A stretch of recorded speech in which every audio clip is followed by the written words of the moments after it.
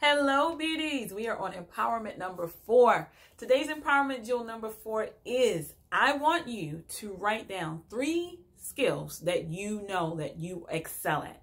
There's three skills. Doesn't matter what they are, three. Now, I wrote down three myself. And then what I did was I asked my girlfriends, my good, good girlfriends, to do the same. I asked them, hey, can you give me one?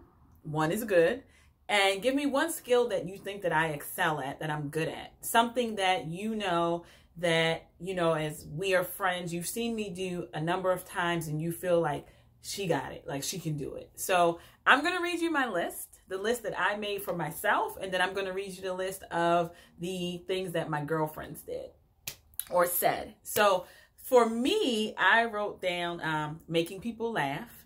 I also wrote down um, giving good advice because I feel like I'm that good, good girlfriend that you would come to if you have a question. Like I try to definitely have an opinion, not an opinion because I feel like that's biased because I always try to be unbiased when I'm giving my opinion, but I do. Um, having empathy, which is something that for me is huge. Um, and then I also said being a motivator because I love to motivate other people to be their best self. Like for me, that means the most to me. Now, when I asked my girlfriends, uh, of course, the first thing I got was taking pictures, which I agree with.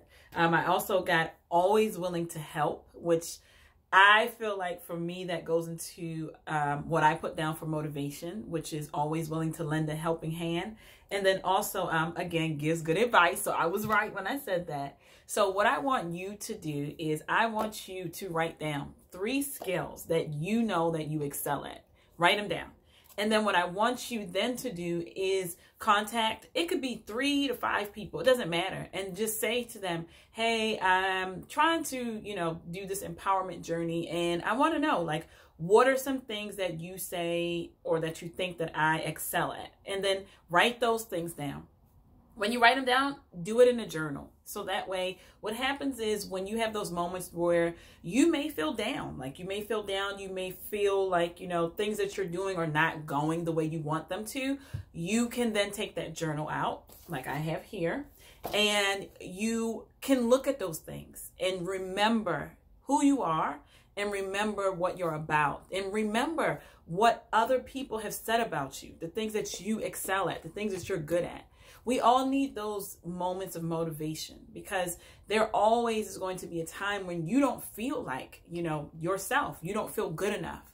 So when you take those things and you write them down, it allows you to, when you have those days, to go back and say, wow, like this person said this about me or that person said this about me. And they really thought about it and they really meant it. So it must be true.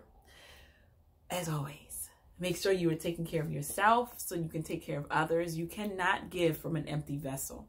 I hope that you enjoy the rest of your week. Again, make sure you're taking time. Self care is not selfish, it is not selfish. Self care is so important to your journey of empowerment. Have an amazing evening.